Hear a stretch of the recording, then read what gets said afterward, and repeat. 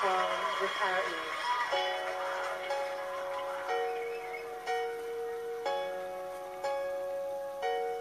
No, I can't forget this evening or your face as you were leaving. But I guess that's just the way the story goes. You always smile, but in your eyes, your sorrow